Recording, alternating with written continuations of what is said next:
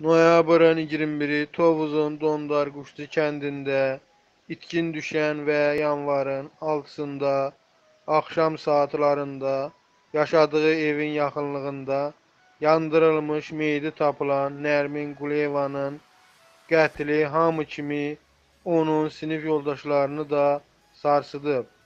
Big Az xəbər verir ki, mərhumun sinif yoldaşları onun sinifdəki partası üzərinə qərənfillər düzərək yad ediblər. Qeyd edək ki, cinayəti törədənin kimliyi hələ də məlum deyil. Faktla bağlı cinayət işi açılıb. Zəruri əməliyyat axtarış tədbirləri həyata keçirilir.